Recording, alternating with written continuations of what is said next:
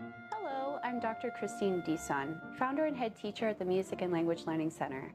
In our ABRSM Music Theory in Practice Grade 1 course, students will learn about a variety of topics in music theory, such as pitch and tempo, melodic, harmonic, and rhythmic dictation, with a narrowed focus on topics such as time values, bar lines and time signatures, rest, ties, and dots, all taught in preparation for the ABRSM Grade 1 exam through a variety of engaging in-class exercises, games, and interactive activities.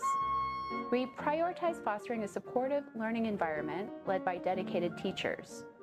We offer personalized feedback outside class hours and actively address any concerns or questions that learners may have.